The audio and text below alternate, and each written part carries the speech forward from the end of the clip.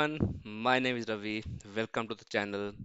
Today uh, I am here to discuss about some of the very important question of Azure Data Factory question and answers. Uh, one of my friend Dinkar has attended the interview on Amazon uh, where he faced some issues uh, on Azure Data Factory question and answers. So I am taking those questions and trying to the answer on the best way for the interview perspective uh, you should have or you might have another perspective to give the answers but this is my opinion or my experience from the google or my real time exposure.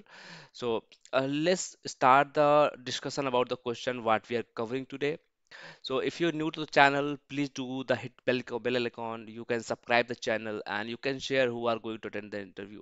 So in my video, you will uh, get the videos for Power BI, SQL servers, or Azure Data Factory. Or in future, if you're interested, I can create a video on Azure Data Factory or Azure Synapse in Azure sectors. Okay, how to achieve it. So let's let's directly jump into the question what we are covering today. So my first question would be how pagination defined for indexing in SQL. So everyone knows uh, in SQL Server we have indexes for query optimizations. So what interview want to understand how much pages we have for the data on the index. So we can discuss on the detail later. Second question. Uh, if we have uh, more indexes in the table, it you helpful for your uh, performances. Uh, third question I'm taking from the ADF side. Uh, so we have a data flow, we have ADF. So what is the difference between on those? So we can cover uh, the topic little bit on that. And my fifth, fourth question from the Azure Synapse side, uh, what is external sources in Azure Synapse? So this is a might be new question for you, but I try to answer it out. And fifth question is from the Azure side. Uh, so user wanted, means interviewer wanted to understand uh, how we set the alert in Teams from for for once you have ADF failure. So you have a monitor tab, you can set the alert over there on ADF side, but this question for the team side, how you throw the alert in the teams, okay? Uh, if your ADF pipeline fails. Uh, sixth question I'm taking from the SQL where how you change your schema, okay? And uh, seven month how you rename your column in the table on SQL, okay? So these are the seven questions I'm going to cover today.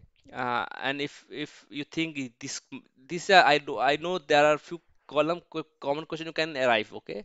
So i have created most of such videos. So let, let's discuss one by one okay? Let's come to my first slide. So if you know about uh, indexes indexes help you to perform uh, or optimize your query to retrieve the data faster right? So you should understand how the data rows defined okay? So to be very clear indexes uh, majorly, majorly on two types cluster index and non-cluster indexes. Uh, cluster indexes you can see the diagram right? We have indexes rows and that will split into multiple indexes rows and the leaf node is called a data rows where you have actual data so cluster index I'm referring right now. Okay, so please be differentiate. I'm discussing cluster index, not a not a non-cluster indexes. So cluster indexes, uh, what what is that? Uh, once you create a cluster index, there should be you understand it on the sorted order, and you have a numeric data for that, like your surrogate key or your employee ID. So take example, we have a uh, surrogate keys for for in the table, fact or dimension you can take it. So let's take example. We in surrogate key we have 12,000 rows. Okay, one, two, three, four is started, and it should be sorted order. Uh, and uh, once you create an indexes, so by default, SQL engine create indexes rows. Means suppose you have 1200, then it will divide into to half. Okay. So your first first 400 in one indexes, second indexes will go ahead on uh, incremental. Means more than 500 of one f- 401 it go to left side, okay, on middle side. You can differentiate anything. So in th- this diagram, we have differentiated three indexes row. Okay, means first index row will capture three details means 1 to 400 record go your left 400 to 800 go to middle and 800 to 1200 go to right okay?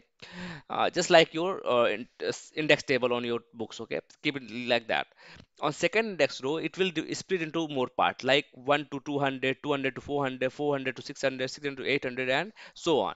So data rows it retrieval very faster for example take example i am searching for 406 rows take example that. So how it will go it will go to first root node index index rows and then it will split down to your right corner because 800 more data we have in the right indexes right? So it go to again index rows second second uh, uh, uh, substitute rows and you will find in middle 8 not 6 on the, your fourth uh, sixth uh, fifth data rows. So how you answer it? Sql engine define how many data float we have okay? So it's not answered you can define. It's a sql page listen page up decide okay? So it's a sql engine can decide how many data flow for your table. So how you answer it? Sql engine have capabilities to define a data rows and data rows uh, carry the indexes rows for your indexes row uh, uh, files okay? So you can take like that okay?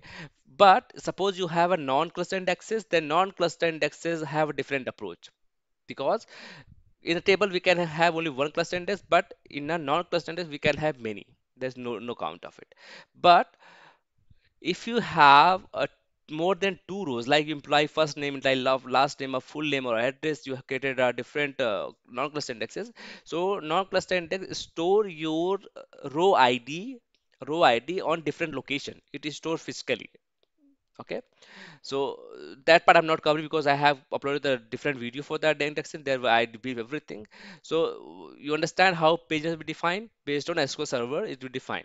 And now class index we have a different storage key where it will search the uh, store uh, row ID first, then it will come back to your actual data where you have point, pointing it out. Okay. Okay, you understand that first question you answered, SQL engine will define the answer. Okay. Second question I'm going, how more indexes help not helpful for the table? So creating too many indexes uh, can significantly increase the size of your database. Suppose you have more non-cluster indexes because uh, cluster we have only one, right? So you cannot create more indexes on that. You can have a composite index, but that's not a question. So suppose you have four four non-cluster indexes. So you have a four store ID means you have row ID store on different location. Now it costs to store the data, right? You have somewhere cost, you have space occupied for that, and for that you have additional cost. So suppose you change, you do some insertion or you do update or delete. So each index is being optimized, right? Being checked, right? On the particular pattern means is this something happened. So that will take time. So if you have more indexes, that is not good for your table. You just have those indexes which is helpful. Okay. So when you have insertion, update, delete, then it, it index will update uh, the new record, right, based on your indexes. So it will sl slower down your operations. So, so what do you I mean? How so you can answer on that way. So how if your index is being increased, that will slower down your write operations. That could be insertion, update, and delete. Okay, might be selection will be faster, but it will slow down your write operations. Okay, that would be helpful. Uh, let's jump to your fourth question. Okay, so what is the difference between ADF and data flows? As you know, Azure ADF is belongs to Azure Data Factory. That will uh, consist of your data flows and your control flow operations. So if I ask you Azure Data Factory sign is on cloud native design, right? Azure Data Factory based on your cloud platform, right? Is from my coming from Microsoft. So it integrated with Azure services like Azure Functions, Key Vaults, AD, Databricks, you can say anything. And if it is a cloud, it work on case cost effective pay per use prices, right? Based on your data volume, based on your execution duration, it will cost. So Azure Data Factory consists of your cloud native design.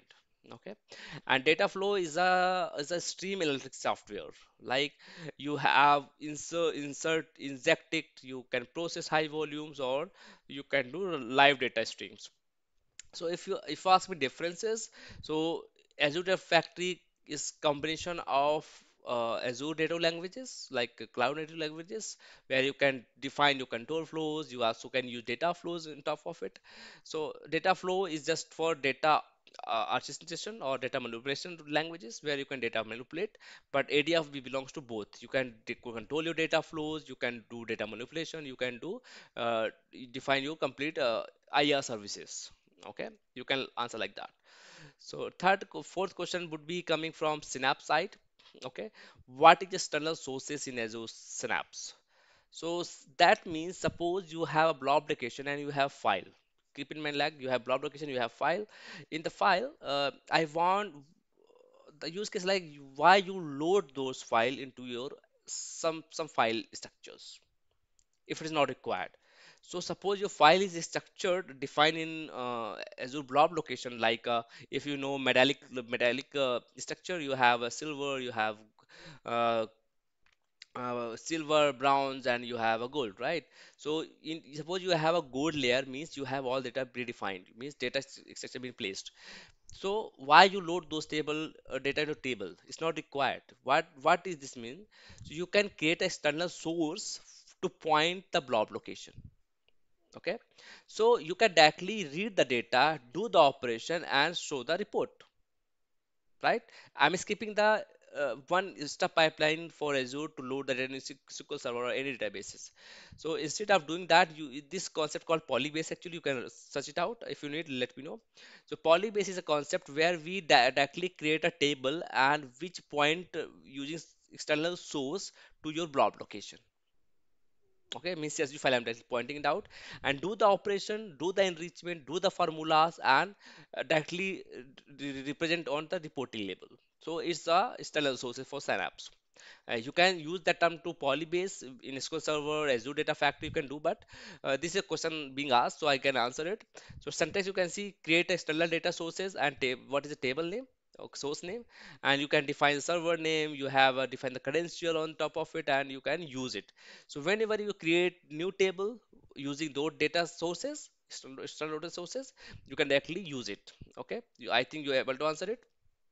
Okay, let's jump to next question being alerts. Okay, so how to get alert in Teams if any failure in ADF?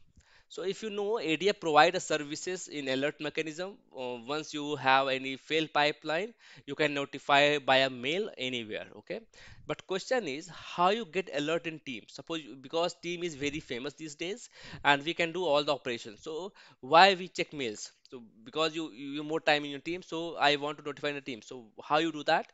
So if you have teams, you can create a one channel, and channel you can add a connector called uh, webhook. Okay. Uh, in webhook, once you configure it out, it asks two parameters. Uh, it will show you that uh, parameter called your URL of that team, team channel and what's its logo. Okay. So once create the channel, you just save the URL and pass this URL to your web or webhook activity. Okay? Let's take example web. So once you choose your webhook activity with url okay just keep in mind.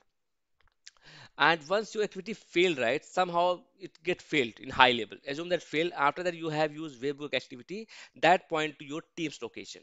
Okay? In teams location and you can you have to get two parameter. One is for fetch the message correct? And what pipeline get failed just take example your uh, store procedure activity get failed. Take example. So while failing you should get some uh, message right? Failed because of deadline failed because of constant failed because of not availability server not reachable or credentials anything. So once you get the message you that message you have to pass to web via parameters okay? And once you define define the body you can pass that message body to reflect on your team's location so this is method i can refer it out. If you know more methods you can just chat me out i can uh, do the poc and come with another video. So for me you you can use webhook activity and web both with work. And you know webhook activity require a, a, a write back means suppose your is webhook activity kept running actually okay? So what you have to do you have to define a write back functionality. So once your operation done you have to mm, make a write back operation or callback url you can call it. So you can use callback url and pass the url okay so that will be answer to get the letter on teams okay? Uh, if you need any information or more, more video on that i can create it out. I have poc on done. Let's come to uh, sql question now. How to change the schema of the table? Uh, this question might be tricky one but sometimes they ask. So i written the statement called alter schema sales okay? Sales is my uh, old schema uh, transfer to this okay? Uh, so production photo uh, was in sales earlier Wait, let me recall it. Uh, alter schema, sales pro. Okay, okay, that's vice versa. I'm changing production to sales. Sorry, my back I got confused. So, uh, how to change schema of table? Alter schema, that's the new schema, and transfer from production to production photo. Okay. So, what is production? Production we have. I'm transferring transferring the table production photo to sales. So, once you run this this statement, then production dot production photo table transfer to sales schema. Okay. Uh, last question. Uh, I know this is fast track I done, but if you have need any clarification, just chat me out. I'll try to answer it out. How to rename a column of table in SQL? So that's very is easy, but sometimes tricky. So I have answer for that uh, using sp rename uh, function. Okay. So once I execute, execute sp underscore rename. Uh, sorry, it's a stored procedure. Sorry, my bad. Uh, this is a stored procedure. What you have to define uh, what is the schema what is the table and what column you are changing okay so i defining for the source first then which table uh, which column i need to rename so here large photo file name is my column. I am replacing with terror id and what i what operation i do i want to do a column change rename a column right? I need to parameter i want to do a column changes. Yeah. So you can do the poc on top of it if you have any doubt and let me know. So this is my wish list. Uh, if you are preparing for the Azure Data Factory interview question, if you watching my all the playlists, you would get a confidence to attempt it and attempt properly with your confidence. Okay. So best of luck for interview and please subscribe the channel. Spread the this channel to all who working on SQL, Power BI, and your Azure Data Factory. My name is Ravi. Thank you. Have a nice day.